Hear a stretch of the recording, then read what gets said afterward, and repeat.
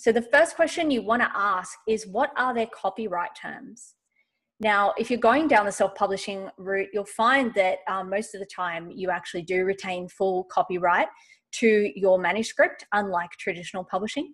But you still want to make sure, uh, you still want to be certain that you have full copyright. Secondly, you want to know do they provide marketing assistance?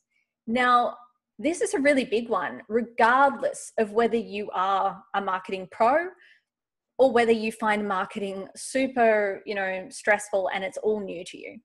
Um, the reason I say that is because you don't want to be spending all day, every day, trying to market your book. Um, you know, you've we've all got better things to do than spend all day marketing our books ourselves, um, even if you are fantastic at marketing. So if you can find a self-publisher who also handles the marketing side of things, that can save you so much hassle and so much work. Um, and question number three this is probably one of the biggest ones. Where are they located and will they be there to help if issues arise?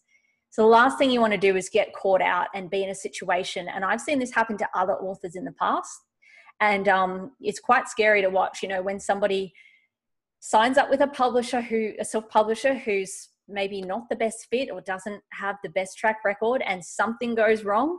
And then they're trying to contact them via email and it's taking two days to get a reply you know that's you don't want to be in that situation um, that was a big reason why i signed with my publisher because i found that he was very quick to respond i could talk to him on the phone usually like almost every time i could speak to him the same day on the phone um, so it's really important to yeah ask yourself those questions and and ask any poten- potential publisher these questions as well because when you do this, it can truly make all the difference and it saves you a lot of time and stress.